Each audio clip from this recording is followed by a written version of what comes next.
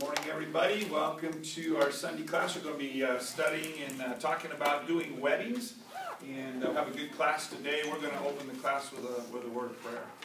Father, we just uh, bless you this morning. God, just thank you for a beautiful day outside today, God. Lord, I just ask uh, for, uh, we just say, Holy Spirit, we just welcome you in this room. Ask you, Holy Spirit, just to fill this room this morning with your peace, with your comfort. I bless every uh, person that's here in this room today, and I just speak a blessing over their lives uh, for strength, for encouragement. Lord, I just pray for just a uh, just an empowering that the joy of the Lord would be their strength. I ask God that you would touch people's hearts today, and Lord, fill them with your joy. Lord, this morning we just want to say, God, we love you. Lord, we just bless you this morning. We bless Pastor Greg as he's bringing the message tomorrow, uh, this morning. God, just bless him. God, give him your strength. We see it. We just say, out of the abundance of the heart, the mouth would speak. So, Lord, we just love you today, God. We speak peace over every class, our nurseries, our children's church. Lord, just let your presence just permeate throughout this entire campus. We just love you this morning, God, and we pray all of these things in Jesus' name. And everybody said, Amen. Amen. Well, welcome everybody. You guys all got uh, handout sheets here. I uh, want to remind you real quick, just as we get going, so I don't forget, uh, those of you who have missed classes that you need to make up classes, I've got a, um, a printout on the back table there. You just need to kind of run across, find your name, and you can see the dates uh, that you need to make up. And on those dates, all I'm asking you to do is just do a one-page, um, uh, just a one-page summary of what the class meant to you. That's all you, I need you guys to do. And uh, that way we'll let you guys uh, account for that. And if you need to know where to go to actually view that, what you want to do is you want to go to YouTube. And this can be for our, we've got some um, uh, alumni chaplains that are here visiting with us. Welcome, guys. Thank you for coming in. Um, you can, uh, if you want to view any of the classes that we even did this year, you go to YouTube and just go to skywaychaplain.com. And so there's a YouTube uh, site now, and it'll say Skyway Church or, skywaychaplain.com, and it'll pull it right up. And then you can look at every single class uh, that we've done. And not really broadcasting that out to other churches or anything yet. We're still probably going to tweak some things, but we wanted to download that, see what that actually looked like, and then we'll be uh, reviewing the classes, um, or the people that are teaching the classes will be reviewing it, how we actually facilitated the class, and uh, so that next year we'll get all those classes, they'll be right in sync, right in order, and we're actually looking at possibly doing something where we offer uh, chaplaincy classes online uh, to be able to offer them to other churches and stuff. And then the booklets that you guys are all putting together with all your notes, uh, putting together a packet to where we can actually give uh, to other churches and help them uh, start their own uh, chaplain program to help the churches and help the pastors out. So kind of a cool deal. But uh, YouTube, uh, Skyway So that's what we need to do there. And just one page, uh, what you got out of the um, what you got out of the class on the dates that you guys have missed. So um, okay. We've only got a couple more classes left here. You know, today we'll be doing marriages. next week we'll be doing sermon prep, talking about how to prepare a sermon. Uh, if you're doing a funeral, if you're when you uh, do a wedding, if you're, you're going to be licensed, uh, you just need some you'll need some basics on how to kind of draft a message because uh, you basically will be doing a very very small short uh, message whenever you do a funeral and uh, not necessarily when you're doing a wedding. It's pretty much pretty rote, pretty script, but you still have scripture verses that you're reading and you're wanting your heart to just you know be ready and be prepared and stuff. So that's what the sermon prep will be about. Next two weeks after that, we'll actually have you present the, the sermon, a little short sermon, five, six minute sermon uh, here in the class. And then the following, uh, uh, April 20th, just to remind everybody, that's Easter, no classes, okay? Everybody will be, will be in the sanctuary. We'll be doing three services, 8, 9, and 11. And then um, the 27th, we'll be talking about licensings. Those of you that want to be licensed, uh, you'll understand what the guidelines are, what you need to do to be licensed. We have uh, two ladies that are going to be uh, licensed um, uh, this year. Uh, Shirley Wyckoff and Deborah Nani are going to be licensed uh, when we do our graduation. And then we have our graduation, uh, I believe it's the May the 5th, 7th? Okay, thank you. May 7th, so it's Wednesday. So we'll graduate chaplains, internship, um, and whatever WLI graduates would be getting their uh, bachelor's, master's, uh, doctorate. So that'll all be going on Wednesday, May 7th, right? Okay, let's grab our little inserts here. We'll talk about we'll talk about weddings. I guess the first thing I'll do when I talk about weddings is let me talk about dress. It's actually not even on here, but uh, it's a hot topic and uh, very uh, near to my heart here today. Uh, I did a wedding yesterday, and, and we're, we're going to talk about how you go through and you do your uh, premarital and how you set your whole wedding in line uh, that they're going to do. And just in briefing and just talking, uh, to the couple and stuff, they said, Pastor Sam, we just want this really casual. So this is before I really started even um, getting any information from him. She goes, I just wanted to do a backyard wedding. He wanted to do a church wedding uh, just to, uh, to bless me. So I decided we'll just do the church wedding, but this is very casual. So my next comment to her was, which I never should have made, and I don't want you guys to ever make, but let me just tell you how the story went. Uh, so I said, so no shirt, no tie, a jacket, you know, just a jacket. Or she goes, no, it's just very, we just want it very casual. There's only going to be 10 people. How many people were actually there yesterday? More than 20. More, yes. There was probably 50 plus or so that was in, ended up being there. So what was only going to be very, very small and just in the, the church, and we just want to come in and then we're going to leave, uh, turned into something a little bit different. So what I ended up doing is I wore a nice pair of jeans, really nice dress shirt, nice shoes, and a jacket. And um, when I came in, the groom had a, uh, a white suit on with a purple tie and a vest. The dad came in that was uh, going to give away his uh, give away his daughter. He was in a tux with a cummerbund and so I knew I had blown it at that point. so what I'm explaining to all the chaplains and those of you watching online, no matter what you're doing, whether you're doing a funeral or whether you're doing a wedding, you are the one that is facilitating that whole service. And if they want to come in shorts and a Hawaiian shirt, you still wear a shirt and a tie for the guys with dress slacks and dress shoes. And with ladies, you're wearing a nice skirt. If you want to wear a blazer, that's fine. But uh, that's the dress attire that we, and we're conducting, no matter what we're doing.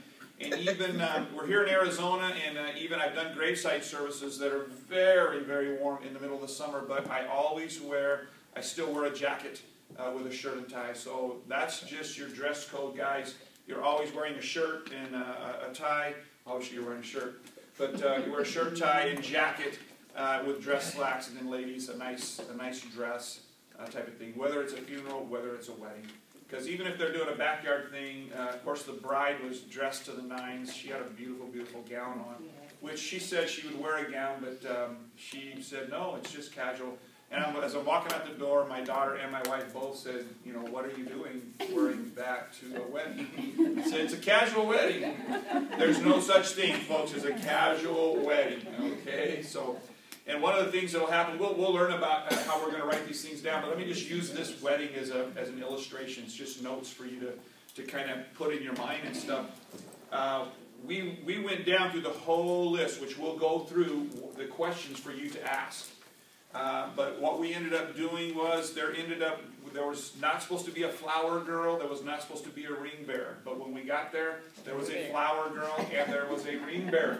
Uh, they, the dad wasn't even going to give the daughter away. She was just going to walk down the aisle. The dad was going to walk the lady down the aisle. So the ring bearer and the flower girl is not too big of a deal because you just need to make sure when they're going to walk in. But if the dad's giving the daughter away, that's a whole thing that you have to add in uh, to your script, so to speak, you know, who is giving this woman to be married to this man? It's a pretty big gig, you know? And he's going to go, I'll say, I do. And I said, Well, are you married? And he said, Well, yes, sir. And I go, Is your wife going to be here? And he says, Well, yes, sir. And I said, Well, let me just. So I'm doing this on the fly while we're while we're working this thing. I said, It'd probably be good if you said her mother and I to be able to incorporate her in the wedding also. He goes, oh, oh, oh, okay, well, that would be good. I said, well, can you remember that? He goes, yes, I can remember that. I said, okay. But all this is after the wedding plan inside your office, in the home, or wherever you put this thing together. You always, I'm, I'm telling you all this, you just have to be ready to flow on the fly. Just uh, when they come in, uh, things might change. It might look a little bit different. And the thing is, you know, it's their day. Don't panic a wedding, uh, I don't want to say never starts on time, but it never starts on time.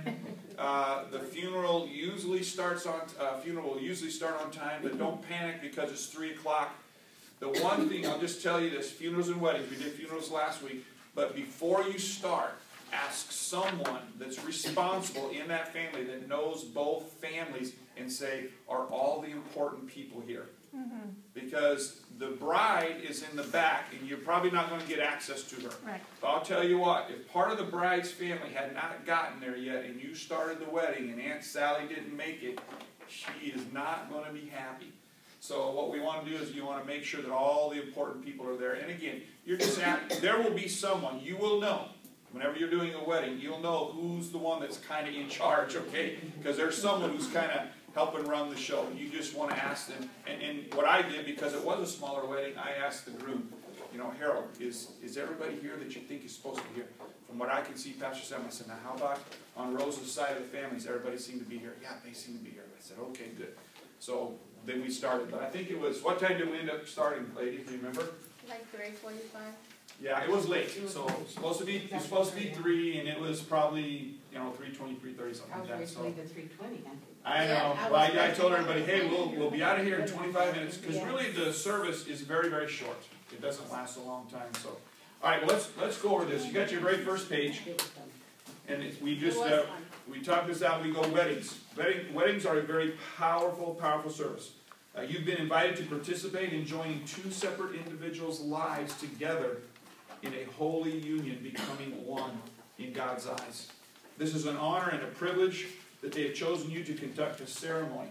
It's a wonderful opportunity to bless and to unite this couple in the eyes of God and all the friends and family members. Don't know if you really look at it like that when you first do, you know, weddings and stuff, but you know, we're actually taking a scriptural principle in Genesis, very, very first wedding. God ordained it. It's not good for a man to be alone. And uh, it's talking about uh, uh, leaving your father and mother, and that you would all that you would cleave together, and the two shall become one flesh. So all the way back in Genesis two, uh, you see the very, very first uh, wedding. So it's a very powerful thing that you're doing to try not to get caught up in all the flower girls and tuxes and am I wearing the right jeans or the wrong jeans, but to understand that, hey, you know, I have the privilege in the eyes of God and in front of all these people. I get to unite these two um, through the state of Arizona because you're licensed, if you get licensed. And as we talked about last week, to do a funeral, you don't have to be licensed. Everybody understand that? You don't have to be licensed to do a funeral. To do a wedding in any state, you have to be licensed.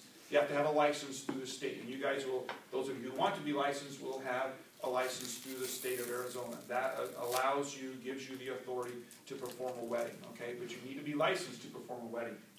So, a very, very powerful thing that we're doing. Premarital counseling. Uh, we have a marriage manual available for you to use. This manual is designed uh, to help you uh, discuss important issues with a couple that may not uh, that they may not have discussed before. This manual has simple questions to ask and will help the new couple start their life off with biblical answers uh, to some of the problems that they might face in their marriage. This manual is entitled uh, "Preparing for Covenant Marriage." So this is what the manual looks like. And the manual covers about seven or eight topics. I didn't print any of these, uh, print these out. I wasn't again sure how many of you wanted to be licensed. What I will do uh, next week is I'll bring with me uh, uh, copies of this. So I'll print these out and I'll have these available for you next week. Some of you alumni that are in here, if you guys are wanting a copy of this, uh, I'll have enough printed. I'll print up over 20 of these to where I can get these uh, to you guys. But what we do is if you have time, if you know in advance, because there's two different things. Sometimes a wedding just comes up and someone asks you to do a wedding and you don't even have time to do uh, any premarital counseling at all. But if you know with a little bit of uh, uh, uh, time, you've got a little bit of time, you can get them this booklet, and we can get you, get you copies here from the church. You can send this or give this to the couple, have them read through this together themselves, and then when you come back to, to uh, do a premarital uh, kind of a premarital counseling thing, you can talk to them about the book. Now, obviously, you're going to have to go through the book yourself so you know what's in the book. But uh, what I do is I go through and I said, hey, are there any stumbling places here? Did you guys come up some, with some things where you had uh, more conversation than not? You know, type of thing. And you just kind of listen to the couple. Here, here's the thing. Uh, because you're planning this wedding, you want to give them premarital counseling and stuff, but, you know, um, Uh, if they're a younger couple, they've never been married, maybe this is their first marriage, this is a good chance to let them know about budgeting, uh, uh, communication, um, how, what are your parenting styles? Parenting styles are in here. Uh, how do you communicate? Is one of you more of a disciplinarian than not a disciplinarian? Uh, the very first page in here talks about being born again. That's one of the very first things that I that I ask whenever someone asks me to do a marriage. Uh, I'll ask them, you know, are both of you guys born again? If they don't understand what born again is, I'll explain this is what born again means. I'm not asking you to join a church, but I'm just asking you, you know, do you both have a personal relationship with the Lord Jesus Christ? Because here's what can happen, folks. If you get people, you've probably, how many of you heard of the term unequally yoked? How many of you heard that? Okay, that doesn't have anything to do with race. Uh, race could still play a factor uh, in uh, traditions, family traditions, how people do different things just because of difference in culture. But that's not what is meant by unequally yoked. Unequally yoked means whether both of them are a born again Christian or not. Because if one's a Christian and one is not, that's called unequally yoked. Because their views in regards to God are totally different. One's totally lost, the other one's uh, the other one is saved. Now, it doesn't mean that I would not do a wedding like that, but I present that to them to let them know that that's going on. If the other person says, hey, I'm just not ready to do that yet, let me think about that, that's fine. But what I do do in the middle of talking to them, um, it's usually the lady, usually that's born again, the guy is usually not. That's been my percentage, okay? It could be, it could be both and, okay, or either or. But I ask the, la the, the lady, I'll say, I just want you to know, do you understand what you're getting into? You know, here's a young man who's not born again. Uh, he's not going to have the same desires. He's not going to look at life the same way uh, in the eyes of Christ. And are you wanting your family and your kids to go to church? Are you wanting your, your kids to learn about God? I said, because right now you have the potential, even though it sounds like maybe his heart is open to this, he's not ready to make that commitment yet. Um, after you get married, there's going to be nothing that's going to uh, pressure him or push him to be able to do that. I just want you to understand as you're going into this, do you understand what you're getting into? Do you want to marry this guy when he's not born again? I've, said, I've had to say that. Because the bottom line, folks, whenever you're putting two people to one, you have to say this thing. You know, the marriages in the church and, and actually uh, outside of the church, do you know what the statistic is right now for them to stay married? 50 50 in the church even. So there's still, their scenarios are going on. You're not going to solve their life's problems in this premarital counseling thing. But all you're going to do is you're going to give them some tools. This is a good tool. And a lot of times I ask them, I said, did you guys read this? And uh, I'll look at them in, uh, in their eyes, did you really read this? I said, because it's very, very important. Now sometimes you'll come up and someone will want you to do a wedding and you don't even have time to do this. They're not wanting to do premarital counseling. The reason we do this and the reason we go through this book is because what we try to do is we try to have people do a covenant marriage. And what a covenant marriage is, I'll just kind of pass this around so you can kind of look at it and just to show you what it looks like. But a covenant marriage here in the state of Arizona, let me tell you about our state. Our state has uh, an amendment uh, for, have adopted a thing into law, which is called that you can go to the state, and as opposed to just getting a regular marriage license, you can get a regular marriage license, or you can get this thing that you're seeing right now, you can get a covenant marriage license. And what we do when, we're, when we ask them to get a covenant marriage license is it makes it a lot harder for them to get a divorce. And what I mean a lot harder to get a divorce, you can do irreconcilable differences. You can pay a few hundred bucks, put your name in the newspaper, and you can get a divorce in X amount of time. I forget exactly how many weeks it is, but a very short period of time. What this does is you go, are you getting married for life? Because what they're doing is they are doing promises, they're giving away rings, and in the eyes of God and all the people, they're making a covenant together. And, and they might not understand what covenant is, but covenant is something that is until you die. Okay? And that's what a covenant is in uh, biblical terms. That's what's happening when you're married someone. They are entering into covenant to marriage uh, uh, together. Now, they're not going to understand that. That's what we explain to them. You're entering into a covenant together. And this covenant marriage license is you explain to them that as we talk about these things and you're getting a covenant marriage license, is if you're going to, if you guys for some reason begin to separate and you guys are thinking divorce, it's saying that you have to go to counseling to work, try to work things out and try to reconcile before you would get a divorce. That's what a covenant marriage license would do. Would you, do you, are you guys wanting to be married forever? Are you guys entering into a covenant together? Yes, Pastor said. There hasn't been one of them say no. you know, now there's been some of them that have already got a, marriage license. They go, you know, I don't think we want to do the covenant thing. I, I give them the option, but we strongly try to suggest that they do a covenant marriage license. It just helps keep families together. Because how families go, that's how the nation goes. Yes, So are we, we, are we the ones that actually have it, or they just, they would go down there themselves? They go down, yeah, they got it, that's something they have to purchase, so you always, just wanna I mean, you always wanna make sure as you're getting up closer to the wedding time, you always wanna say, do you have your marriage license? Okay, Because if you don't have your marriage license, we're not doing a wedding. Uh, because legally, you can actually do this thing, but they need to have their marriage license from the state. And some people have forgot to bring their marriage license there. Uh, that's happened once. And, uh, so luckily I knew the couple and we were able to sign it the next day, but I, you just, you've gotta reemphasize, reemphasize, reemphasize. Do you have your marriage license and make sure who's gonna bring the marriage license? Sheree? Yeah, there's a, there's a couple of things that I just wanna, um, just add to that. Um, Dr. Leo Godzich was, um, instrumental in writing that.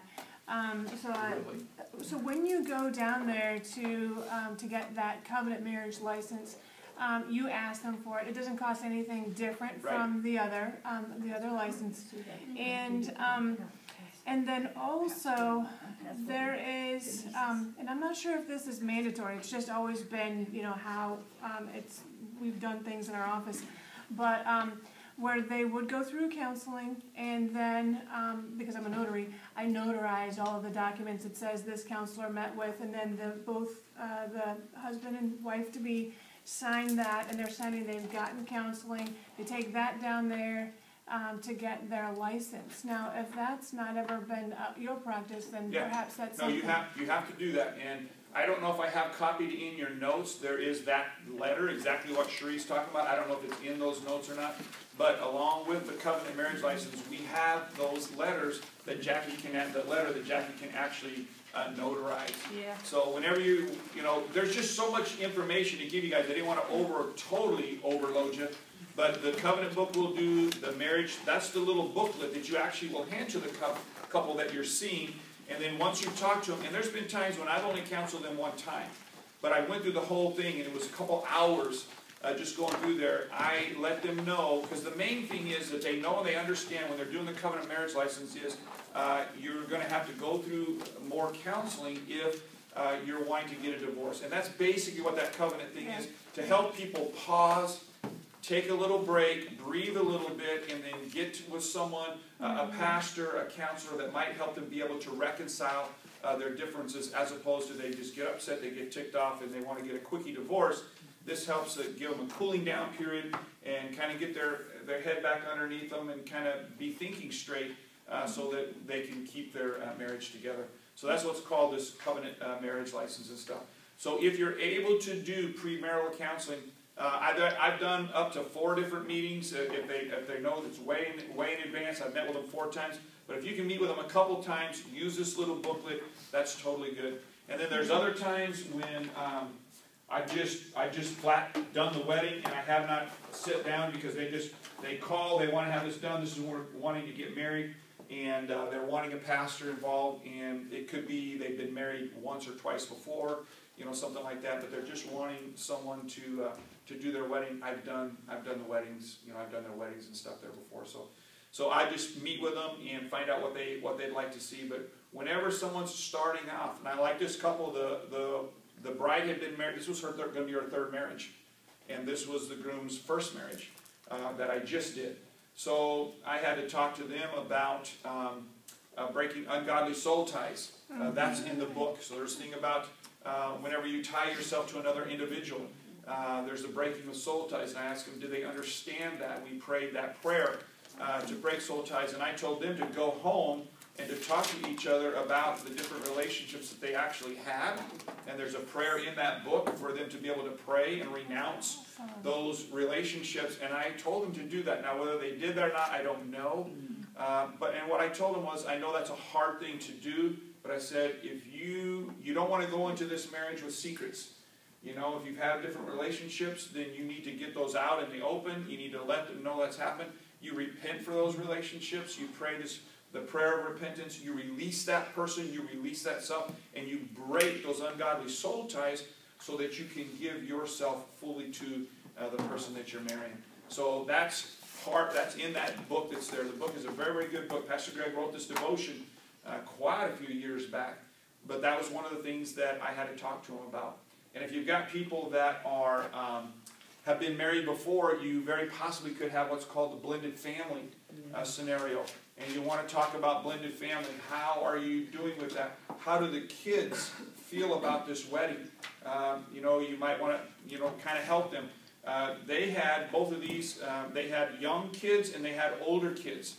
Uh, and so I told them they needed to have a family meeting, and I told them they needed to involve their children and I told them they, they needed to, if they didn't do it during the wedding ceremony, like incorporating the kids into the, the wedding ceremony, that they needed to have a family meeting and let them know how much they love them. Let them know that, you know, you're, you're going to be the best uh, dad that you can be. Obviously, they're not the father or the mother, but you're wanting to be in their life and you love them and you're wanting to make a home for them and do security. Because when kids have come out of a divorce situation, there's a lot of insecurity and they might have thought they did some things. So we talked about the blended family uh, scenario for quite you know for quite a while with them to make sure how they were going to do that, who's going to discipline. Uh, is everybody happy about the wedding, or are some people not? And um, thank God in this one they said everybody was pretty excited about it, but they needed to build the relationship with the kids more. And I said, please uh, have that family meeting. Go and do that before you do the wedding time. It'll make the wedding go so much you know, so much smoother. Now, whether they did or whether they didn't, I don't know, but those are the things when you kind of find out what the background is or what's going on. Those are the things that you'll want to you'll want to do when you're doing the premarital premarital counseling type of portion. Any any questions on this premarital counseling scenario? No. All right. Again, you're just going to have to go through this. The guide we have, is again called Preparing for Covenant Marriage. First thing you want to make sure if people born again, uh, and, and I've had people get saved right, you know, right there. You know, I told them, hey, this is not about, I'm not asking you to join the church. You know, this is about a relationship, and this is about you guys being equally yoked together. Mm-hmm. Uh, so that the things that you guys, that are important to you guys, it will be important. Because uh, Easter uh, is going to be different to a person who's saved or not saved. Mm-hmm. Christmas is going to be different to a person who's saved or not saved. And then if you've got uh, two couples that are of different cultural backgrounds, then you've got all the different uh, cultural uh, differences that are going to be there. And I talked to them about that. I said, do you understand the different, uh, you know, cultures going to be there? And if they're young or whatever, they go, oh, you know what, it just doesn't matter. And I'm like, okay. I said, all right, it might not sound like it doesn't matter right now because you haven't experienced one family outing together yet. And you got the whole, when you start doing that, that's a very overwhelming, you know, type of scenario. Just like, you know, me wearing jeans and uh, having two black couples that were getting married, and you know, where was my head in thinking that they're not going to dress to the nines?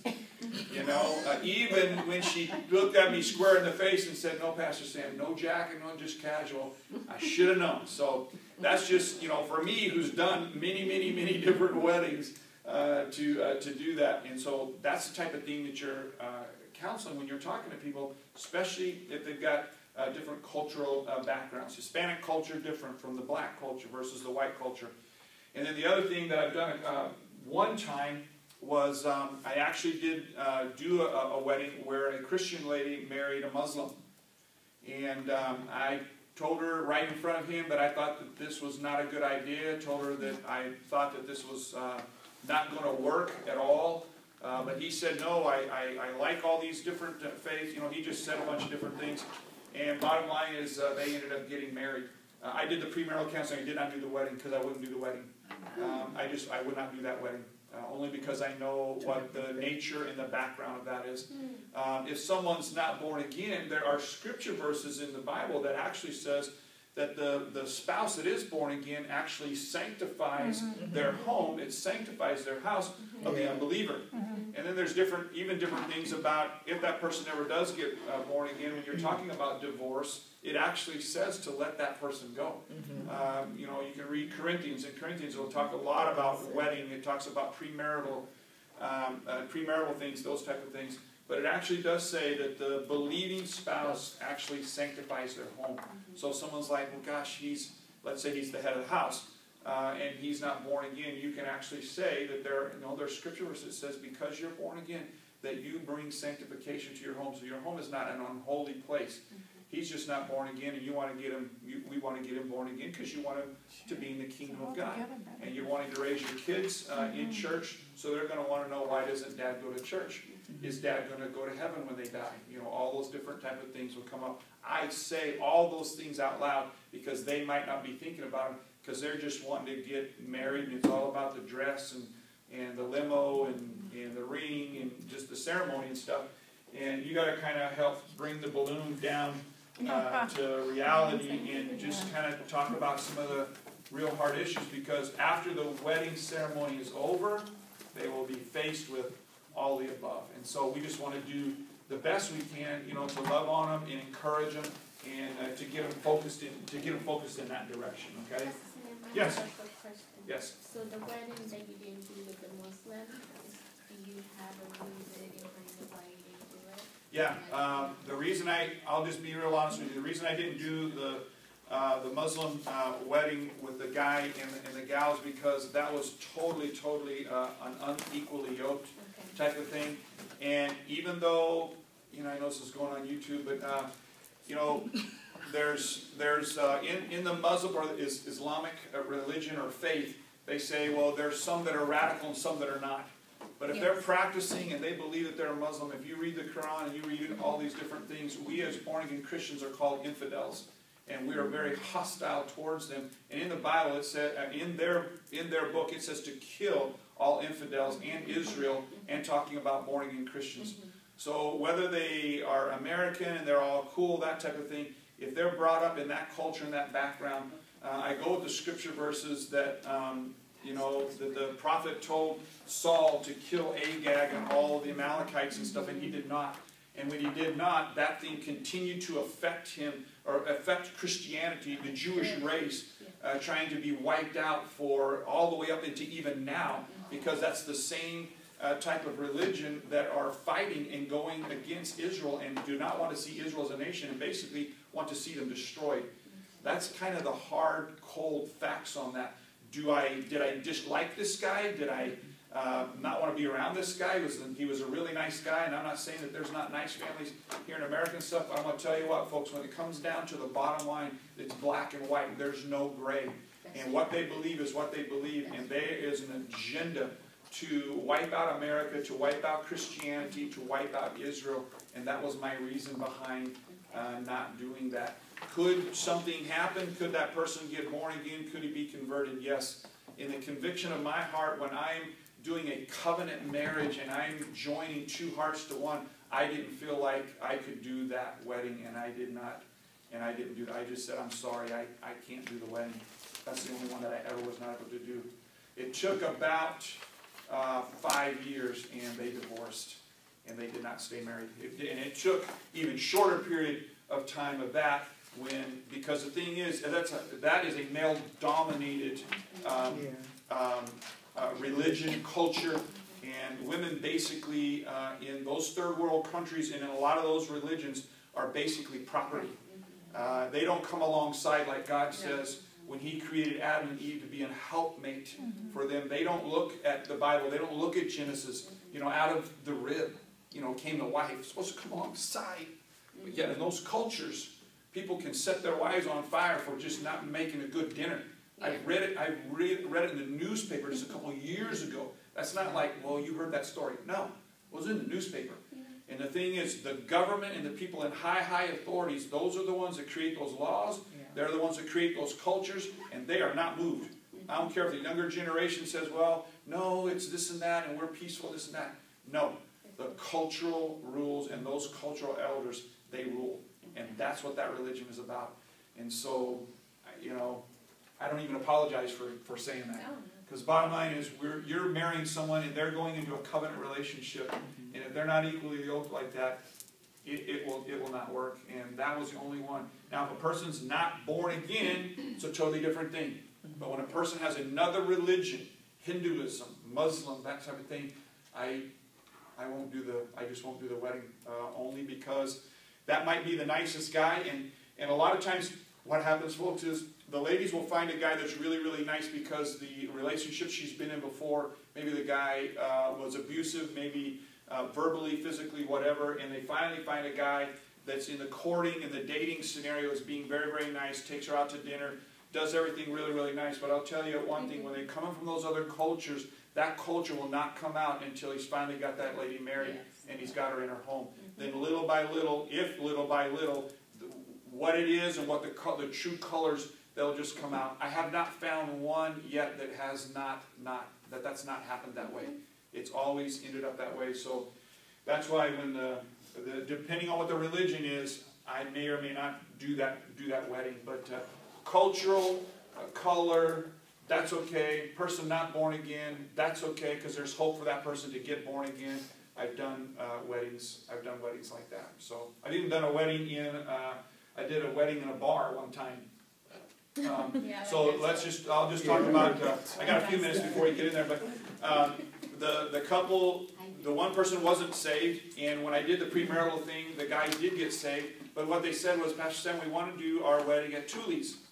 I said, Tully's? I said, like, the Tully's on Indian School on Forty-third, and they go, yes, the Tully's on Forty-third, because we want to dance. And I'm like, okay. So, I'm in the couple's home, I'm in their apartment, and um, we do the little premarital thing, and this was kind of a rush thing also, but the person knew me, so they asked if I would do it. The guy gets born again, and, um, and the wedding's very, very soon, and I said, you know what, okay, I'll do that. I did get a, I had a lot of flack, uh, I got a lot of flack from wanting to do that in that place, but let me tell you what happened. Uh, it was done during the day, it wasn't at night, uh, and what they did was, when we did the wedding, we went in there and they put the wedding up on the big screen. I don't know if you've been in Tully's, but it's got a big old dance floor where they dance. They put the they put a camera on it. They did the whole thing. Um, I used that opportunity to pray when I opened up the ceremony. I prayed for every single marriage in that bar. And uh, whenever whenever I opened it up and started praying, the bar went dead silent. You didn't hear no pool tables. You didn't hear no cl- glasses clinking. It was like dead silence, and I'm up on the screen, and you can see that all over the bar. You know, or it, I didn't call it a bar at that time. I called it um, a, um, a dance establishment. but anyway, call it what you want, okay? But uh, yeah, that's what I told Sherry. It's a dancing establishment. So, but anyway, um, but that was a that was the thing. It was done during the day and stuff, but it was it was where they wanted to be. And you know, folks, when, when whenever you do weddings stuff like that, you know, nine times out of ten, people are going to drink uh, during the reception. Yeah. Uh, to be able to say no, I don't want you to drink or whatever, that's not up to you. That's up to the Holy Spirit. You got you just got to know that something like that's going to happen. Family So I thought, you know what? Um, I'm going to go ahead and do that. I'm just going to go there and I'm going to bless them. And in my mind and in my heart, God knew what my heart was. You know, my heart was, Lord, I'm going to, I'm just going to pray over them. I'm going to bless that place. When I go in there, I'm going to pray the power of the blood of Jesus over that, which I did. I didn't really realize in my heart the effect that it actually, you know, took place in there. Because it everything went dead silence. And I even had two people as I was walking out the door because they said, Pastor Sam, you gonna stay and have some drinks with us? And have I said, you know, no. I said it was great. Thank you for letting me, you know, invite me. I said, but I got to take off. Got some things I got to do. Okay, well, thank you. You know. But as I'm walking out the door, I had two people come up. One person was a backslidden uh, guy, and he was there. He was going. I was here drinking. He goes, I'm going home to my wife, and I'm gonna work things out. Wow. Yeah, that was one guy said that. And then there was another guy who said, hey, you know, just pat me on the back. Cool, preach, cool deal, you know. So I like that. But there was one guy that was sitting there at the bar that was a born again Christian, and he was drinking, and his and his fam, his you know his marriage uh, wasn't what it was supposed to be. He goes, I'm leaving right now. Oh. Oh, there you go. Yeah, you know, that was for them, but that was for that whole gig was for that guy. That's So right. that sitting right there at the bar, right there. Did you wear your jeans? I did not wear my jeans. okay, let me clarify this, once. I have only worn jeans one time. It was yesterday. And I will never do it again. So you missed that, Dulcie. That's It would have been first appropriate part. there. No, I only did that once. And from now on, it's uh, shirt and tie. Go to the All dressed up. Let's keep going on here. Let's talk about the wedding rehearsal. So after you've done your Yeah, premarital thing, we talked about that a lot, and, and again, if you guys, once you guys, uh, get ready to do, if you're gonna do your first wedding and you wanna sit down and talk with me, please do that. Okay, just come in, we'll go over, I'll go over the, the premarital guide thing with you. I'll, I'll go over the notes that you have right here and the things that you've got on actually how to do that before you actually, you know, sit down with them. Because one thing to sit in a class is another thing when you're gonna have somebody sitting in front of you, uh, to actually do that, and that's where the rubber meets the road. And, and so you'll, you'll need a little bit of help again, which is totally fine. And we can set that up, uh, if and when, uh, you begin to do a wedding, okay? Question, Yes, would you say it would be okay for ladies to go into the couple's home to do the counseling? you know, no, uh, I would not say that. I did do that, you know, you never wanna do anything alone, ever. And, and really, even for the guys, uh, you know, it's just a biblical principle. Normally, I have people uh, come to the church. This was years ago, and I did I did go to their apartment, but I would I would not recommend that at all. Bring it to take them to bring them to a neutral site. Go to a Starbucks, uh, meet them someplace. But I really wouldn't go to their home. Um, I just would not do that. Thank you for thank you for bringing that out. We just have to be really really careful. Um, you know, maybe if you knew the person and if it's a relative or something like that, you know, of course that's fine. But a person's just calling or whatever, uh, meet them in a neutral site uh, where you know you'll have people there, and it's even good that you've got somebody you've got somebody with you, okay? Because you just never know. Uh, nowadays, I wish it wasn't that way, but it just is, and we just got to be extra extra careful, and especially especially ladies. Okay, meet them in a, uh, uh, a certain place. Make sure you got uh, a couple people with you, but but meet in a public place. And you know, Starbucks, hey, that's best place to be anyway. So. Okay, uh, let's talk about the wedding rehearsal. Okay, so the last meeting after your premarital session. So you've done your premarital thing, whether you talk to them two times, three times, or just even one time, uh, your premarital thing is, is done. And what you're ready to do now is you're ready to uh, talk to them about the wedding rehearsal. So along with this joyous occasion comes a lot of stress, expectation, and dreams that might cause some problems during the wedding rehearsal. So I'm going to talk about uh, the wedding rehearsal. As I talk about the wedding rehearsal, I'll go over uh, what you have, what you're going to talk to them about actually before the wedding rehearsal. But let me just kind of go through this, and, and I'll talk to you about this. Uh, you'll meet with a couple prior to the wedding. That's what we're going to talk about right now. The wedding rehearsal. You'll find out how they would like their wedding ceremony to go. Once you find out what they want, notice I underlined what they want. Uh, then you're ready for the wedding rehearsal. By doing this, you're letting them know uh, of the potential uh, hurt feelings that might take place during the rehearsal if things are not done in a certain way. So here's what I do. I want you to grab. Um, okay, I've given you like two two different sets of uh, paperwork here. Let me just. This right here, you've got uh, with numbers down on the, on the bottom. It says 21, 22, and 23. Okay, these are what you can take your notes on. This is what I'm going to be talking about. See this one single page where it says wedding notes? Okay, this is what I'm going to be going over, but this is just a, this was out of a booklet that Pastor Greg did quite, uh, quite a long time ago when we were doing an internship. And then we kind of went through this, and then people just took notes there. So that's what you can take notes on. But have this in front of you, because this is what I'm going to be talking about. See this page right here? Wedding notes. I'm going to be going down through here. This is what you're going to do when you talk to, um, when you're talking to the couple. So you're, you're setting this up. So you guys have had your premarital counseling. You guys have talked to them, and uh, you you've got that all out of the way. You say, okay, what is what do you want the wedding to look like? And they're going to have uh, a few ideas, but this is a good uh, deal right here. So you'll want to make copies of this for yourself. Now let me tell you what you're doing. If you're the one that's doing the wedding, you're basically like the wedding because you can become the wedding coordinator, which means you're running this whole thing. Or if you're if it's a big big wedding, it's someone's very first wedding, uh, they may actually have a wedding coordinator. And a lot of these things right here, they'll probably they'll do for you, but you still need to find out from the bride and groom what do they want. Here's why. Because they might have a mother-in-law, they might have a mother, or they might have Aunt Bessie or whatever. When you get there and you're starting to do the wedding rehearsal, if you ask a question out loud and there are more than one lady there, they will all have an answer to that question. Mm-hmm. And it might be a different answer than what the bride wants. Mm-hmm. So what you're doing is in this premarital rehearsal thing here, you're finding out what the bride and groom wants, and you're telling them, I'll make sure this is what happens on your wedding day. Because they may not want to tell Aunt Sally, or maybe it's a, a mom and dad are divorced, and dad needs to sit on the second row. versus the first row. And that's what normally happens. Let me just tell you what happens with a, a divorced uh, a divorced couple. Usually you seat the moms, the moms and dads, if they're if they're married, they usually sit on the very front row. Okay? Now, if it's a divorce scenario, um, moms still sit on the front row, even if they're with their new husband, but the dad usually sits on the second row. Now, you might, in this term, in, in, when you're meeting with them, you might say, hey, they have a great relationship, blah, blah, blah. Would you like dad on the, on the front row with, you know, mom and the, the new husband?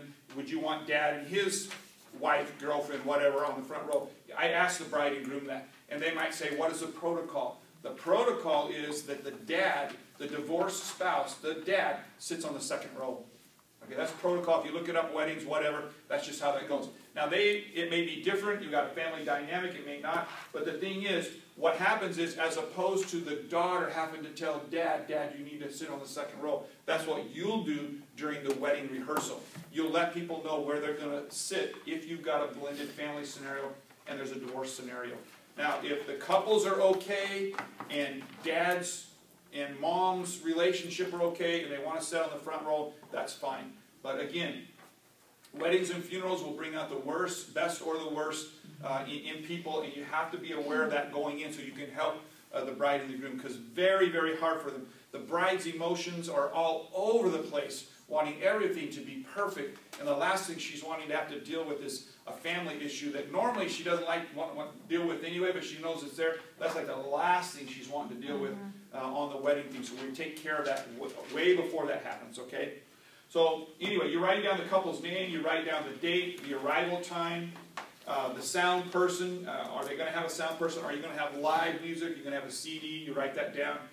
And a lot of times you'll want background music being played uh, about 30 minutes as guests are arriving. You want background music to be played. And you just write down there, hey, what time would you like the background music to be played?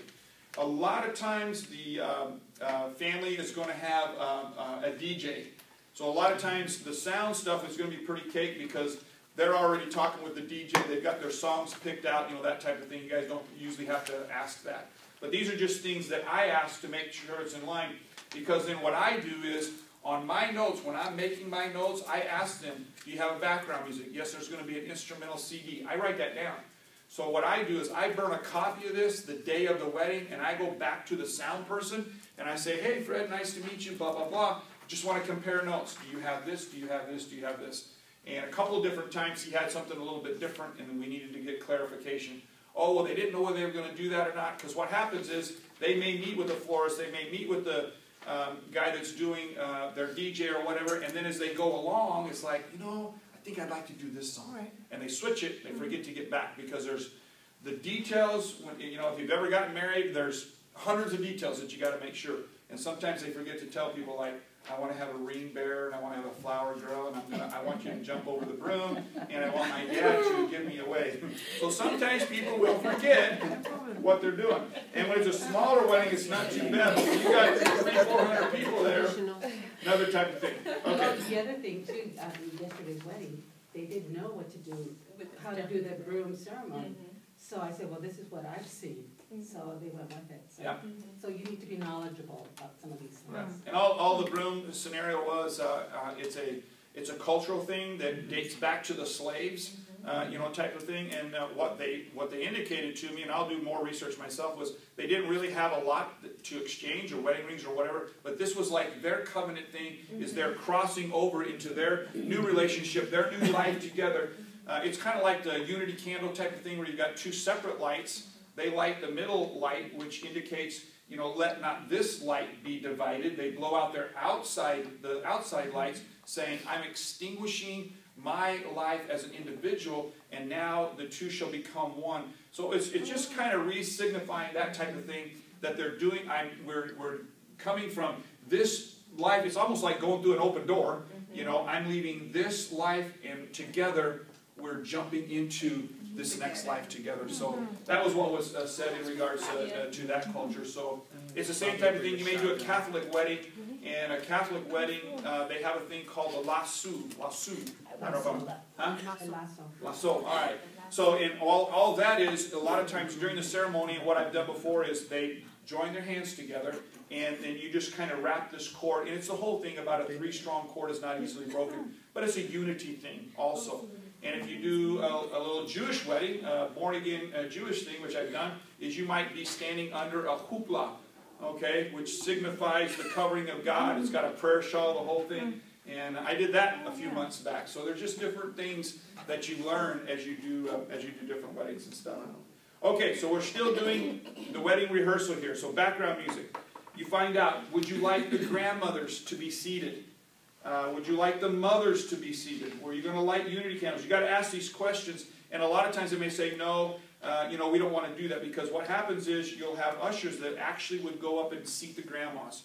Uh, you'll have, uh, and then what happens is once uh, the grandmas are seated, and here's what happens, just so you know, the, uh, the usher, whoever the usher is, you got to ask them, and it's usually a relative, you know, who's going to seat grandma, what's grandma's names, you know, who's going to seat grandma, and you write all those things down, and the, um, the usher will take grandma down, and where's, where's grandpa at? Grandpa's behind, so he just trails. So they escort grandma down, and they seat grandma, and they escort the other grandma down, and grandma sits down. Then the ushers come back. If they're going to light the unity candles, if it's inside, they'll light the unity candles. Moms usually do that. So the moms will come up to the front. They'll light the unity candle, the two outside candles. Then the moms will come back, and then the ushers will actually seat the moms. This is all part of the wedding ceremony. Background music is going. That's if they if they want this. I'm giving you guys way more than what a lot of young kids, young I say young kids, Yeah. uh, uh, well, young kids, um, the way they want to do their weddings nowadays. And a lot of uh, weddings, a lot of young kids now, they're wanting to do destination weddings. So you're Yeah. doing weddings outside. Yeah. You're not even necessarily doing them in the church.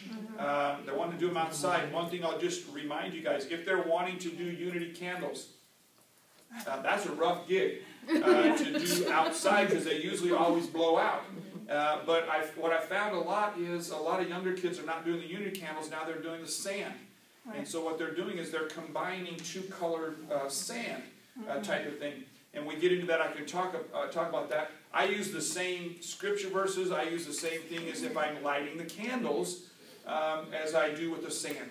Because basically the sand is intermingling, and once that sand is intermingled together, it can't be separated. If you've ever tried to separate a grain of sand that's a different color from another thing, you know, that you just can't do that. So a lot of, a lot of them now are, I'm just kind of giving you, filling you in. They'll either do candles, they may not even want to do candles. They may not want to do the unity candle. But uh, a lot of them are doing sand now. I don't even think I, did I update this thing to say sand? No, see, I haven't even updated this thing, but a lot of them are doing sand nowadays, so. And sometimes, Sure. I know what, my daughter had this, a destination wedding in uh, Hawaii, that's where I was from. And they did the, did the sand. And he had a, an old, a child, a thirteen-year-old child, and he was part of the wedding. Mhm. And they did do the sand. Oh, okay. So. He helped participate in He the held, sand? he held, he Okay. held it, the, the, the thing while they poured the sand in, which was kinda nice. Okay, cool. Yeah, if you, if, again, if they've got kids, blended family, if they want to do something to incorporate the kids in the wedding, that's totally fine. Just kind of ask them, hey, how would you like to do this? We could do this, this, or that, or just something like that. It just makes the kids feel, instead of watching this thing happen, they're actually participating in it and they get, they get buy-in. Because they're gonna have the scenarios they're gonna have to go through once they're married anyway, so they gotta do, but boy, starting it off right just really, really helps. So moms light the unity candle, then the moms would come back to the back, you seat the moms. Uh, once the moms are uh, seated, the pastor and the groom and the groomsmen come to the platform. Um, this, they do so many different things. Uh, usually once um, the moms are seated, um, the, the pastor and, and the groom come up and they stand. A lot of times what happens is, uh, then the groomsmen come in. I've had them follow me. Uh, a lot of times they want the music going. Sometimes they want the groomsmen and the bridesmaids to go in to come in together. Uh, sometimes they want them to go out together. Uh, so you just got to ask them, what, what do you want to see? Trust me, the bride will know, she'll know what she wants. But these are just questions. If they don't tell you that, these are just questions that you ask. How would you like that to happen? So, but normally the, the, uh, the, the pastor and the groom, they come up and they stand side by side. And, and always the groom is on your um, uh, left-hand side, the bride is on your right-hand side. And when you reverse it, uh, the, the bride's family sits over on the left-hand side, the groom's family is on the right-hand side. It's always that way. And that's how they, when they come down the aisle, they come down the aisle that way also. Okay, So once the, the, the uh, pastor and the groom, the groom is usually once they're at the platform, there's a background music that's just playing, it's usually instrumental. We come up there. Once we get up there and we stand in place, then usually there's a, a different song, usually that's being played when the bridesmaids walk in.